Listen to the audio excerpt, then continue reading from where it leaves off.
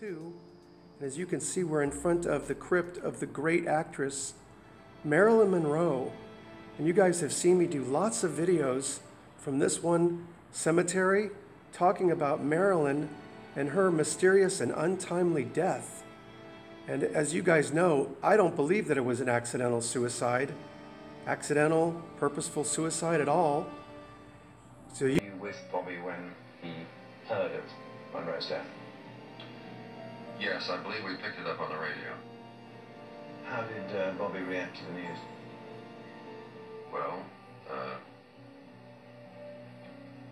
I, I don't recall any, any specific reaction. Why do you think that so many witnesses in Los Angeles would have told us and told the police that uh, Bobby Kennedy was in Los Angeles that day? I, I just can't speculate on their misinformation or their bad information or their what they think they saw or what they think they knew. But I, I just there's just no way he could have been in Los Angeles unless he had a twin. Isn't it odd that two key members of the police department at that time, that is the police chief himself and the chief of detectives, would both have been of the view that Bobby was there if in fact there was no evidence? I'd like to cross-examine them. John Bates claimed that Bobby never left his ranch the day of Marilyn Monroe's death is contradicted by one of the most decorated cops in the Beverly Hills Police Department, Lynn Franklin. I approached uh, Olympic Boulevard at about 12:10 a.m. I spotted a Lincoln Continental doing about 70 miles an hour eastbound on Olympic Boulevard in a 25 mile zone. I threw on my red light siren and finally got the car stopped right here at the curb, uh, which is a mile away. I walked up to the car, recognized Peter Lawford, whom I'd known for years, uh, driving. Uh, seated in the back seat was Robert Kennedy, the Attorney General, and there was another man in the front seat with Peter Lawford. I asked uh, uh, Peter why he was driving so fast. He said he was trying to get the Attorney General to the Hilton Hotel to get pick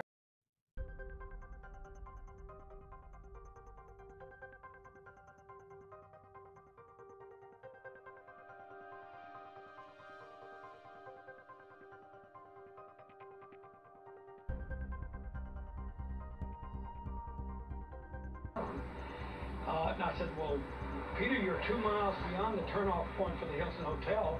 And at that time, the Attorney General said, you stupid ass, referring to Peter Lawford. Saw Bobby Kennedy in LA that day. You've got uh, a neighbor of Peter Lawford seeing him. You've got a neighbor of Marilyn Monroe seeing him. Here's what the mayor of LA told 48 Hours. Chief Parker told me confidentially that uh, Bobby Kennedy was supposed to be north of Los Angeles, some city, making a speech, but that actually he said he was seen in the Beverly Hilton Hotel in Los Angeles. Where was Bobby Kennedy, the Attorney General of the United States, on August 4th, 1962? Well, our records show that he was in Los Angeles.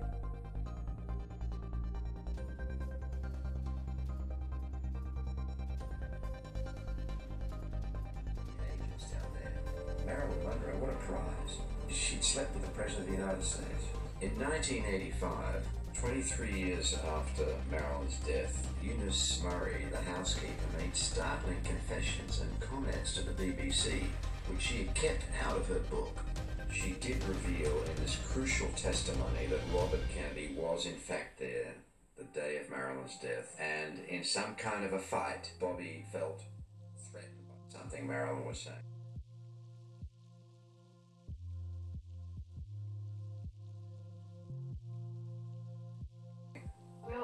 Period of time, I was not at all surprised that the Kennedys were a very important part of Marilyn's life. And uh, so that I was just a, I wasn't included in this information, but I was a witness to what was happening. And you believe that he was here? At Marilyn's house? Yes. Oh, sure. That afternoon? Yes. And you think that is the reason that I- he was so upset? on- Yes, and it became so sticky that the protectors of Robert Kennedy, you know, had to step in there, and protect him. We've already heard this from Deborah Gould, but this is different.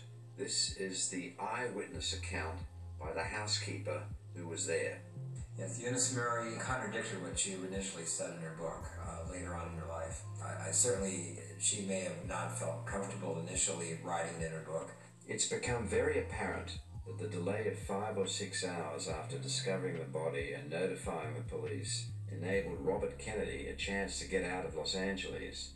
News reports later stated it gave time for any written evidence of the Kennedys' relationships with Marilyn.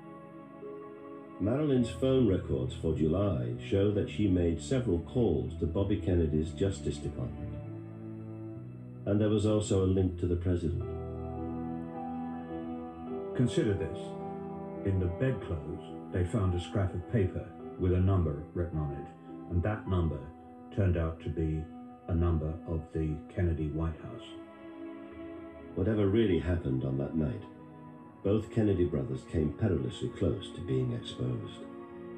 And there's a great deal of evidence that um, the precise circumstances of Marilyn Monroe's death was covered up.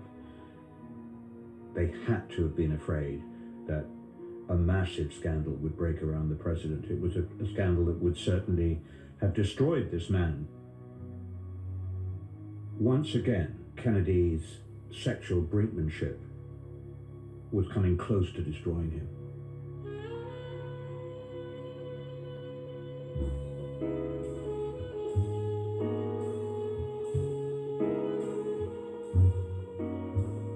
The final year of the president's life brought the threat of new sex scandals. So we're sitting here on the Marilyn bench right here, paying our last respects to our beautiful Marilyn Monroe, the greatest movie star of all time, the biggest movie star, let's say. And uh, it's just so tragic of what happened, and I don't think we'll ever really know.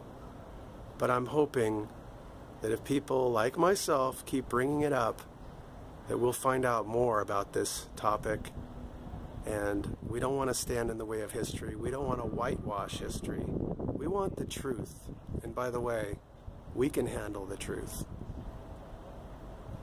I love you, Marilyn. I'll always keep a good thought for you. Cheers.